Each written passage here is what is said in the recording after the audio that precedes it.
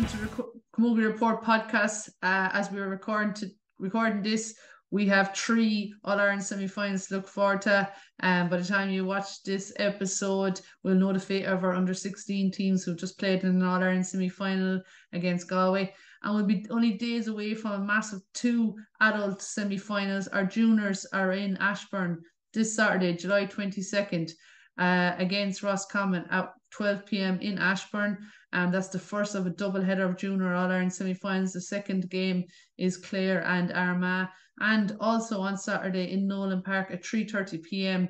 Our seniors take on uh, Waterford in the Glen Dimplex All Ireland semi final, and that game is followed by uh, Cork and Galway in the other semi final. So really exciting times here for Tipperary Camogie. How brilliant it would be to have two teams in an All Ireland final uh, on the first weekend in August. Can we dare to dream? Uh, that is the dream. We have the juniors and seniors both in All Ireland semi finals, both there on merit, uh, both in flying form, and with massive tasks ahead against Roscommon and uh, Waterford. Looking ahead to the junior team, um, Roscommon, just looking at their group games, they had two wins over Tyrone and Louth and lost to Clare. And they came second in the group. They played Limerick in the quarter final, had a three point o- uh, win over Limerick. Remember, we bet Limerick in the Munster final uh, some months back. So they bet in the quarter final 13 points to 1 7. Tipped then, obviously, we topped our group. We bet Wicklow uh, at home in the rag, and then we went went to Cavan, recorded a great win there, got a direct route to semi final. So, have been without a competitive match in a couple of in a couple of weeks, but uh, um, have been playing lots of challenge games, preparing really well, and uh, are going to be all guns blazing for Roscommon on Saturday. That game at 12 p.m. in Ashbourne. Uh, our seniors then, uh, a great win over Antrim in the quarter final, comprehensive victory there. Uh, we we topped our group with wins over Dublin and Wexford, and that draw against Kilkenny. Um, we got pulled out of the hat though to play quarter final, and we got the job done against Antrim, and we're now facing Waterford, a team that bet Cork in the Munster first round of the Munster Championship. We bet them then in the Munster semi final before going on uh, to be clear in the Munster final. Um, great healthy rivalry between Tip and Waterford the last couple of years. They bought us last year in the group games, so this game is going to be um, a real. Uh, a serious battle. It's going to be a cracker, I think, in Nolan Park. It's the first game of a double header there, a tip and uh, Waterford at 3.30 p.m. in Nolan Park and Cork and Galway in the second game. So to look, help to look forward to these games, to build up the atmosphere, to get the thoughts and uh, analysis. Uh, we have Stephen Gleeson um, from the Tipperary Star and Tip FM commentator, and uh, we also have David Sullivan joining us and the Tipperary Junior Manager. So I'm delighted now to be joined by uh, Stephen Gleeson of Tipperary Star and sports commentator. Stephen, you're very welcome to the podcast. Thanks very much, Geraldine. Thrilled to be here. Stephen, uh, I was with you um, last Saturday in Croke Park. We were doing commentary with Tip FM uh, on the quarter final. I know it ended up, I suppose, a one sided game, but looking back in the match, what are the key, I suppose, positives you would take from a, from a Tipperary point of view, I suppose, heading into an All Ireland semi final against Waterford? But Geraldine, I think you mentioned it that day on commentary as well. Just the fact that it was Croke Park, it was a team playing a match in Croke Park, finding their feet, getting their bearings, and of course, so importantly, getting that win under their belt. And it was a game that Tip were slow enough to settle into. I thought, you know, they're a bit jittery. The ball wasn't sticking to hand, it was spilling out, and it was taking them a couple of attempts to rise the ball at the start. Antrim looked to just kind of gain a bit of confidence from that. And it was level, you know, at the quarter mark in the match, up by half time. Tip were starting to get on top, but it really did take that second half and that first 15 minutes of the second half to see off Antrim. And uh, one of the key things I thought was just getting used to those surroundings, getting used to playing there. That's the big time. You know, that's what it's all about. And this team haven't really had that opportunity, Geraldine. I can remember working years ago in, in uh, Phoenix FM above in Dublin and interviewing Gerry Thornley of the Irish Times, a rugby correspondent. And I remember him talking about the the almost the emotional intelligence of a team. And that doesn't come overnight. That's something that takes years and years to build into. And this Tipperary team have been building for this. I think they've been building for this for maybe five, six years. They lost, you know, a couple of key players in Orla Dwyer going to play Aussie rules, and a couple just fell by the wayside. But the bones of this team have been there for year after year. I was doing commentary with you over the years, and uh, we've seen them just lose against Galway, lose against Kilkenny, and lose against Cork. And this time round, they're in a semi final. They have a brilliant opportunity and they got there in real style this time. The way they beat Antrim the last day was that second half was just a big punch to say, this is our stage. We're on the big time. We want this more than anything. And uh, and the fact that they got that win in Croke Park, they go to Kilkenny next in Nolan Park. If they win that, they're back in Croke Park for the final. I think that's going to stand to them big time should they get there. And uh, look, they're in that semi final. They've was it eight or eight out of nine? They've lost um of the last nine years. They didn't get there last year, but uh, to be back there again, I think it's a golden opportunity for Tipperary now, and it's just all the cards are falling nicely. But that's the big thing I would take from Croke Park. Getting a win and playing well was huge, Geraldine. And so, do you think then, just adding to that, the fact that Waterford went straight to a semi final, didn't play a quarter final, do you think that quarter final game, the extra game for Tip, will, will stand to Tip? Oh, absolutely. The way they won it in such style, you know, I mean, that's a lovely position to go into because uh, Dennis Kelly then will still feel, you know, they can do better because the first 15 minutes, you'd find it hard to pick which team was better because Antrim were really well in it. Um, was it their their free taker sent one over from the number six position all the way over the bar, all the supporters from Galway and Limerick from the hurling that were in early to watch the match were cheering on Antrim, and you know they were the underdogs going into it. But they were they were well in that game for 15, 20 minutes, and then Tipperary just went up a gear. And by the time the second half started, they were going up three or four gears, and it was a completely different match. The last 15 minutes compared to the first 15 minutes. I think they'll take a lot from that, and still Dennis Kelly will have a lot to say to them you know, you need to do a lot better than this. You need to be uh, starting a match well because you could be killed off in the first 10 minutes. A couple of goals could go in, and it's it's very hard to get that back against a top quality side. But um, it took them a while to get into it. But when they got started, they were unbelievable. And one thing, Geraldine, I thought it was one point, and I, I remember we were on commentary and uh, nearly jumping up when Karen Kennedy got a ball in around the centre back position, and she soloed all the way up to the centre forward position with the ball. And Antrim had no option but to drag her to the ground and concede a free because she was going in for a goal. Now, Tip got a point out of that, but they could easily have got a goal there with a run from the centre back all the way up the field. And I think she really woke up a lot of those tip players who weren't playing that well up until then. But um, after that run and that point, you know, she was on form. And after that, a lot of them kicked in and found another gear. And uh, it was a completely different match, I thought, in the second half. That's how I felt about it. Yeah, I was just thinking there. I know after the game you interviewed Cáit Devane, and one thing that stood out to me is what she said was that at halftime the management came in, they showed them the stats. They weren't happy with the stats. The stats weren't up to the level the other games have been at. And I was just thinking afterwards, or I don't know if you thought about what what particular particular stats do you think she was referring to? Was it the hooking and the blocking and the work rate? I wonder that wasn't there in the first half. Yeah, I'd say that as well. Um, that's really the thing. Tip were just second to the ball. They were spilling the ball. Antrim were going in and, and winning that 50-50 ball. It was all going Antrim's way for the first maybe 15 minutes. Tip upped it after that. But um, like the stats at the end of the day, are going to just basically say that you're not performing to your optimum ability and what can we do to get you performing to that and that's what a lot of those are about just that you play well so i would say the stats were along those lines and knowing dennis he has a lot of uh you know time put into management a lot of thought put into coaching and uh he's got good people around him now it's a top class setup there you know to be able to just produce those facts you know, in that moment as well. It just shows that the players and the management are thinking on a, at a really high level in sport. Um, you know, that was the reserve of rugby teams and it was the reserve of, you know, quality soccer sides years ago. The GAA has really, you know, gone up a big notch in terms of hurling. And I would say maybe Cork and Kilkenny and Galway were there in Camogie. Tipperary are at that level. Isn't it brilliant to see that, you know, that, that she has that in her head?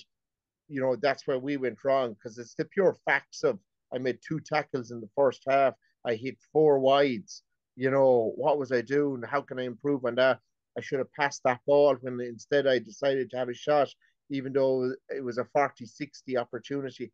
So I think that Tipperary are thinking in, uh, you know, real winning mentality type of mode. And, uh, geez, I, I think it's brilliant to see the, the level they're at. And the strength and conditioning of the team is phenomenal as well. So when they're talking about that at halftime, it's all those little things. It's that work rate. It's putting in the hooks and the tactical tackles. And if Tip get those things right against the quality sides, uh, they're going to be really hard to stop. And uh, it, it is really gone up to a new level in Camogie, I think, at the moment. And Tipperary are, are leading the way this year. And uh, it's fierce, exciting journey. Yeah, and I, I think um, you know, we've talked about the slow, slow sluggish start, and obviously that's something that we can't do against Antrim in an All Ireland semi final. But I always feel when you're playing the better quality sides, you do start better. You're tuned in, and you know against Antrim, like we were red hot favourites. Everyone's expecting it to win. It's sort of nearly easier to prepare against the the better, stronger sides. And you know, for a lot of people, this is a 50-50 game in the, the semi final a lot of people were saying it's a great draw for Tipperary, but Waterford people are thinking it's a great draw for Waterford too. We're avoiding the big guns of Cork and Galway. You know, you get one chance of them and probably thinking, you know, get a win over Tip and we'll be ready for Cork or Galway in the final. So it is a great draw, I suppose, for Tip and for Waterford. But I wouldn't fear a slow start against Waterford. I think the girls will be all guns blazing for this game. Yeah, I think you hit the nail on the head. Waterford will be thrilled to get Tipperary. You know, nobody there um, wanted to draw the winners of Kilkenny and Cork, and nobody wanted Galway. So Waterford will say, "Great, it's Tipperary. Um, we owe them one because they beat us in the Munster Championship, and uh, you know we had knocked out Cork. We had done the hard work for Tipperary. Yeah. So like Waterford will be thrilled to get Tip." And likewise, I'd say a lot of the Tipperary people will be absolutely over the moon to get Waterford because uh, Galway just have a, you know, that hoodoo over Tipperary the last few years, and uh, Cork are a different animal now. They've got uh, Thompson back, and they've got you know real quality players now across the field. So I think it's a different Cork animal now, and the other two in the draw are definitely stronger than Tip and Waterford. But the reality is, either Tip or Waterford will have a shot for them in the final, and um, that's just dreamland territory for those teams. So Waterford will go into this, you know, fancying their chances as well. I mean, they have a lot to prove there. Tipperary beat them well in Munster, and uh, Waterford probably didn't perform well that day. They have good players in the likes of uh, Niamh Rockett there, who is a, an outstanding forward, you know, really sharp, real good quality player. And you've Beth Carton there as well, very experienced, bit like Cáit Devane almost, bit of a leader there and around for you know, the best part of a decade as well. So I think that they're going to come into this very strong. There's probably um, one to 10 for Waterford, excellence will match Tipperary. And then you go 10 to 15 and 15 to 20, as in the subs that'll come on. And I think Tipperary is stronger there. I think Tipperary have really strong subs. And number 10 to 15 on the Tipperary team are probably a bit better than the Waterford players. So Tipperary would probably go into it as favourites and have a right good crack at it. Um, the subs for Tipperary the last day, like the quality there is unbelievable. Heffernan came on, was it 1 4? I think she got in the second half, Geraldine. And uh, Mary Ryan came on there. What is it? Nearly 20 years experience, 17, 18 years in the blue and gold jersey. To come on there in a big match like that, just, you know, that that experience. You can't buy that in the team. And uh, and even the dressing room and the training ground in the next couple of weeks. So uh, I think Tipperary will start as favourites in the semi final. And look, they, they should be beating Waterford, to be honest with you. There's no two ways about it. Tip will be favourites, and they should be winning this one. But uh, again, Waterford will say the exact same thing. That's who we want, and we want to get to that final. And uh, they'll probably look at targeting the Tipperary full back line and laying that ball and avoiding the centre back position where Karen Kennedy is lording it uh, all year, arguably the best camogie player in Ireland. So, I mean, if I was the Waterford manager, I'd just say avoid that half back line, get the ball into the full forward line and put Niamh Rockett or someone like that in there. I mean, that's probably Waterford's game plan. Uh, tip have a few options. So when you go into it as the favourites, it's easier in some ways, but it's more difficult too because you have to perform. Yeah, and just to, to mention there the subs, I have to say I was very impressed with the subs the last day. You know, I suppose you have to take it in in consideration. Maybe the second half, the whole team as a whole were playing better. Um, I suppose Antrim faded away, but definitely I thought our subs did really well, and I think Dennis has a few headaches on his on his on his hands. Um, you know, a few big calls to make. You know, girls are impact subs all year. Do you start them? Um, or do you keep players for impact subs? Are some players more suited to be impact subs, or have you one shot at beating Waterford and getting to an All Ireland final, and you put out your, I suppose, your best fifteen informed players at the moment? Yeah, they're complex questions, you know, and your season lives or dies by the answers to them. Um, and I would say like Heffernan, it's hard to see better forwards than her there. So do you want her on the feet to start? Um, is she stronger coming in like she did the last day, come in just after half time and and win ball after ball and drive it on? Um, Friday is another one that's been coming on the field there quite a bit and doing very well. Um, you know, the, the knock those Knockavilla players are, are, are quite powerful, I think, for tip. But um, like I can see maybe Mary Ryan being held in reserve and possibly the others, but I would say Emer Heffernan will really challenge the forwards for berth uh, the next day. But if you're looking at that team, you're looking at Roisin Howard, nailed on starter, I would say. Um, Mar as well. And you've Cáit Devane up there. And, you know, Clodagh McIntyre, live wire, she's going to start as well. So where do you fit them in? You know, that's the, the big thing because everyone is performing at the moment. So um, Dennis Kelly and Michael Franco and Co are in a great place now. You know, I mean, they have all the players playing well. And Geraldine, I think we talked about it as well afterwards. The Munster final victory, that was just like this weight just seemed to lift off Tipperary. And um, even talking to Cian Tracy about it that day, it, we sensed it would happen that Tipperary would just be a new team to get silverware, to know you have a medal presentation this winter even if you don't win any more matches. I mean, that's a brilliant feeling for them um, after going so long without winning anything. And those players now are playing with confidence. They're they're brimming with energy, and they are really bringing that. You know, the Antrim game, second half there, it was like what did Antrim get? Five, six points in the match. It's shocking. So it is really Tipperary who are driving it on here. And the fact those subs are challenging just gives them real uh, challenges to think about in the next few days. But uh, I'd say the only one there that could possibly start is um, Emer Heffernan. I thought she was really good when she came on the last day and was a 1 4 in the second half. So I'd say it's kind of hard to leave her out. But um, the ones that do start, if she doesn't, will know that she's breathing down their neck. So it's almost an incentive to, you know, to play well as well. If you needed any further incentives, it's just um, it's all feeding into the motivation and the drive. And I'd say these players are thinking about it morning, noon, and night.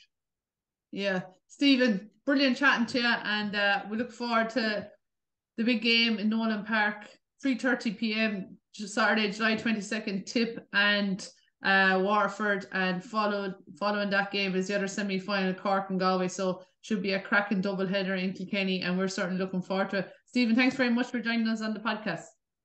Brilliant. Thanks so much, Geraldine. A pleasure. Now I'm delighted to be joined by the junior manager, David Sullivan. David, uh, a massive week ahead preparing for the All Ireland semi final. I suppose it's where you've wanted to be at the start of the year. Uh, how are preparations going? Uh, it's been really good, Jordan. I suppose we haven't played a game since the end of June, uh, since Cavan. Uh, we got a bye straight into a semi final as one of the two group winners. So I suppose we've been keeping our heads down the last couple of weeks, um, training away, playing challenge games, that kind of stuff. So I uh, look, we're really anticipating next Saturday week. Obviously, we're um, we're we're mad keen to get into an All Ireland final, and to do that, we have to, to win the All Ireland semi against Roscommon on the twenty second of July. So um, we've been preparing really really hard for it. You know, we've all all 27 girls fit and healthy and raring to go. So it's just a matter now of just ticking the last few boxes and making sure we've everything sorted for the day and then just turn up and do our business and, and hopefully that's enough to get us over the line. Like winning the group get put you in a position that you could go straight to a semi final. You're obviously happy with getting straight to a semi final, or are you conscious maybe of not playing a competitive game for such a long time and you know Ross Roscommon having that big win over Limerick in the quarter final? Uh, I suppose it's a bit odd, really, in the camogie that you can still win your group and I suppose perform very well and and still end up in a quarter final, or you know. So it's it's a bit mad, really, in one sense that way, but it's no real advantage that you can win your group but still end up in a quarter final. So I suppose we we dodged the bullet and we, we got straight through to the semi final. And um, look, I suppose you can view it two ways. I suppose we we avoided teams knowing about us in the quarter final and we could have managed to, you know, kind of prepare our way there for a semi final without showing our hand and that kind of stuff. But at the same time, not to beat complain, uh, playing competitive games. So, you know, Roscommon would have had a very, very uh, tough game against Limerick the last day. So they'll be coming into a semi final you know, with a very good win and full of confidence. Whereas I suppose we are four weeks without a, a, championship game, and you know, challenge games are great and training is great, but I suppose nothing beats playing the competitive stuff where everything is on the line. So in that regard, I suppose Roscommon are probably in a better position than us, but. Uh, we're fairly confident, um, having seen the girls in two or three challenge games in between the Cavan game and the semi-final, that you know the hunger is still there, and you know we're working extremely hard. So we'll be more than ready, and we'll have no excuses come All Ireland semi-final day. And look, I've been following you all year and been to most of your games, and like you're on a brilliant winning streak in terms of your last two games in the league, the two games in the Munster to win a Munster final, beating Wicklow, then beating Cavan. So, like I said, you're getting the results, but I, I have a feeling maybe you haven't all you haven't really performed to your potential. And are you hoping that on Saturday you'll see the best performance from this group of girls? Yeah, I suppose. Look, we as I said you a couple of times, Jordan, I suppose we had to put a lot into the league because, you know, we wanted to stay there for next spring and be a part of the intermediate league in, in February and March of next year. So that took a lot of energy to, to stay in that league. And the Wexford and Galway games were massive games for us in, in March and, and April. And I suppose we put a lot of emphasis on that to stay in Division Two for next season. And there was always going to be a dip in our form. And I suppose the Munster Championship, we were very disappointed, even though we won it. And I suppose a great sign of a team that you're not playing so well, but you can still end up with silverware. And we were bit, bitterly disappointed with our performances, but delighted to win at the same time. But since the All Ireland series has started, um, you know, without being too disrespectful to Wicklow, I suppose we always knew we were going to win the first day at home in the rag, considering that, you know, they had got a big beating by Cavan the day before that. So I suppose we we kind of managed that game. And I suppose the Cavan game then was the one we really targeted because they had come down to us last year and obviously they'd beaten us by a point in the rag and that was sore enough for a lot of the girls on the panel, you know, so to lose at home to Cavan last year. So we put a huge emphasis on that and, you know, we played really, really well in Breffni Park and I suppose it was kind of was back to our normal form again and back to the form that we showed at the tail end of the league and um, you know, we seem to be peaking at the right time now. We've played very, very well in a couple of challenge games since, and um, we seem to be coming again in the right vein of form at the right time. So we're just hoping we've timed our run well now. That's kind of the biggest thing with all teams at this stage of the year that you've kind of designed yourself around timing your run and making sure that you're at your peak power at the right time. So look, we'll find out Saturday week whether we've timed it right or not, but we feel very confident in the 27 players that the work we've done.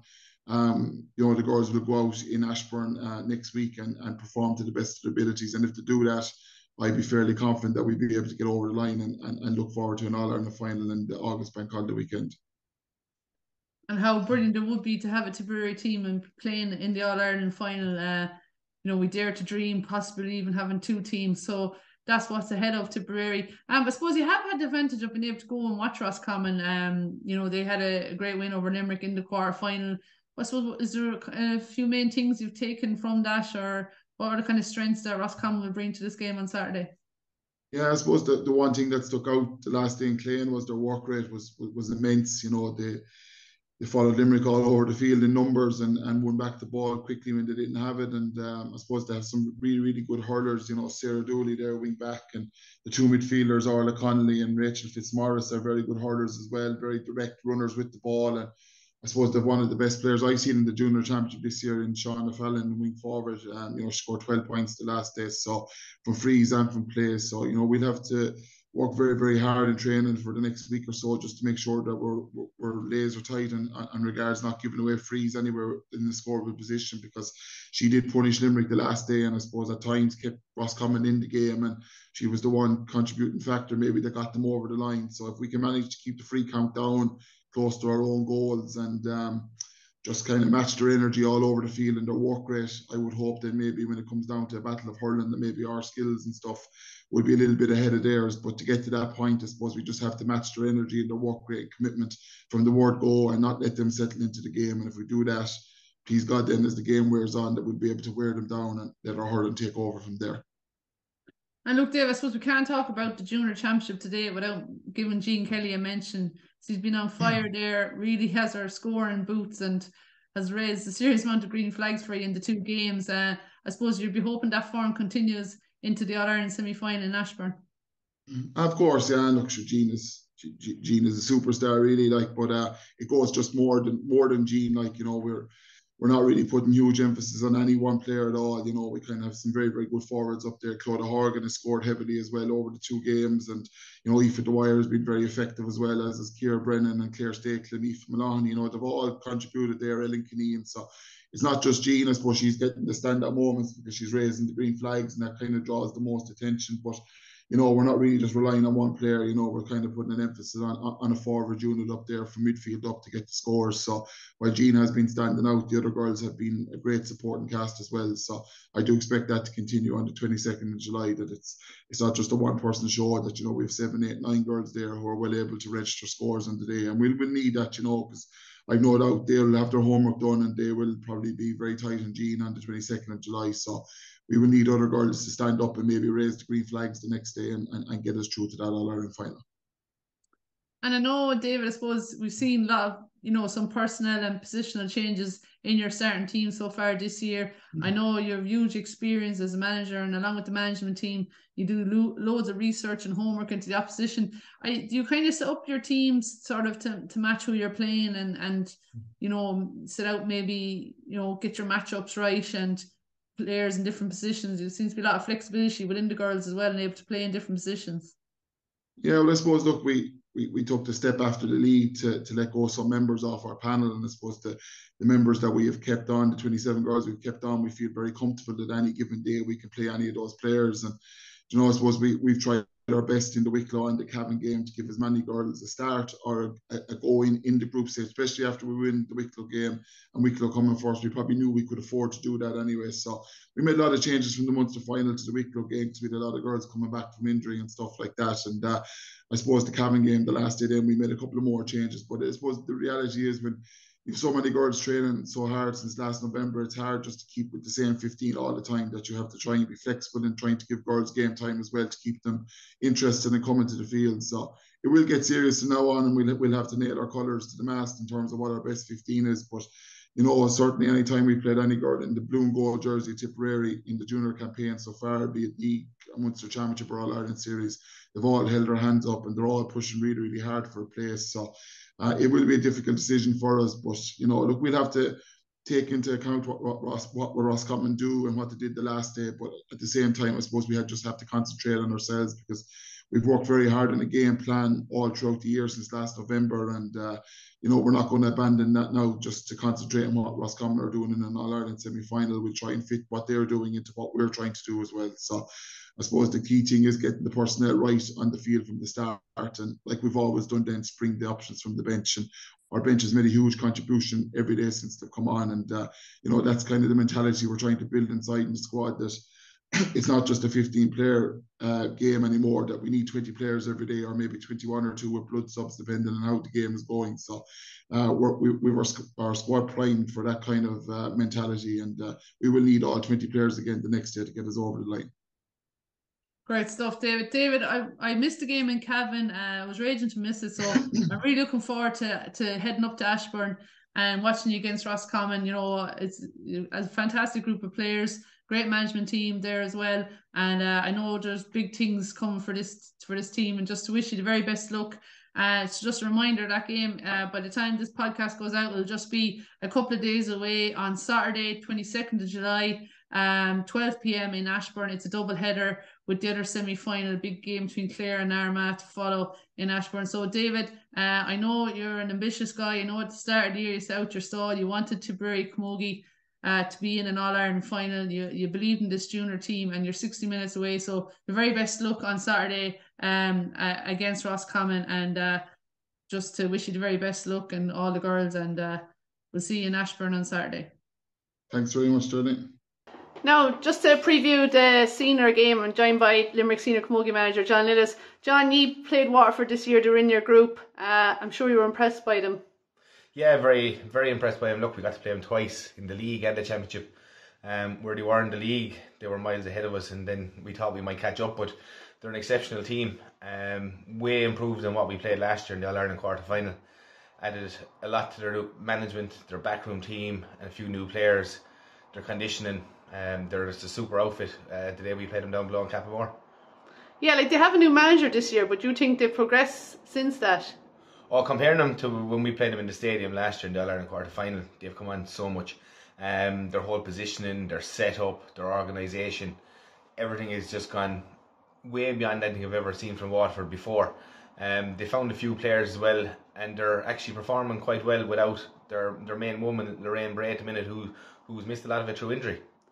And Tip played them in Munster Championship. Obviously, it recorded a big win over them, but probably was probably the best thing that happened to Waterford. They seem to have, you know, maybe got their act together even more since then and refocused on the All Ireland Championship and you know have recorded three big wins so far. Well, to be fair, when they came through Division One A, uh, One B of the league, sorry, they hadn't played one of the top teams. Um, probably got it too easy in the league. First good game they had was against Tip. They found their feet after that and their championship performances so far has been a marked improvement on that day that we saw when they played Tip in the Munster semi final. Uh, and obviously, the big talk point is Beth Carton. You know, we hear people saying she's unmarkable. How did you find her that day in the championship? Uh, Beth Carton is an outstanding player. Um, we probably had our best player on her that day, and we just couldn't keep her tied down. She was all over the place. Her shooting was phenomenal. I think she scored over 100 points so far this year, which is outstanding shooting. If any of the boys had done it, they'd be raving about her. Um, at the moment, she's extremely fit. She her touch and everything is marked improvement on last year. How to stop her in and Saturday week is going to be the thing for for Tip. Um, are you willing to sacrifice one of your top players to try and keep her? Um, if I was in that situation, that's what I'd be doing. If we stop Beth Carton, then you're on the way to winning. Not guaranteed to win, but you're definitely on the way to getting a win. And do you think she's more likely to play in the half forward line or in the full forward line or just to rotate? She starts out centre forward, but she floats all over the place. She moves out to midfield, picks up ball inside the inside line, out to the wings. Um, she doesn't stop moving. Um, it's very, very difficult to tie her down. So you might think she's standing here, two seconds later she's in a different position, she's picking off a score. Now the day we played her, every shot she hit went straight over the bar. Um, it was phenomenal. Her speed for her goal was just left every one of our girls for dead. Look, she's one of probably the top player in the country at the minute, so will have to do their living best to keep her quiet. And John, I don't know if you've seen too much of Tip this year. I know you're busy with Limerick, um, but from what you've seen or you know what you know of Tip, how do you think they can go, will go on Saturday? No, very impressed with what Tip are at at the minute. Their their movement, their ball skills are, are, are top quality. Look, they've been pushing for the last number of years, and finally they're starting to to hit performances game after game and not just a performance here and then a, a down and an up. Um, very consistent. Look, I think they have a great chance. They're in it. They're in the last four. Um, what will happen on the day depends on who turns up in the right frame of mind, and whoever star player can get away from their marker will determine who's going to win the game. John, thanks a million. No problem. So that's all we have for this week's episode of the Camogie Report podcast. Really hope you enjoyed it. Uh, don't forget two big games this Saturday: the Glen Dimplex All Ireland Junior Championship semi-final. to Tipperary first Roscommon at 12 p.m. in Ashbourne in Meath. and then at 3:30 p.m. in Nolan Park we have Tipperary and Waterford in the All Ireland Senior semi-final. Uh, wouldn't it be great if we had two teams through to an All Ireland final after this weekend? That is the dream. Thanks very much for listening, and we'll talk again soon.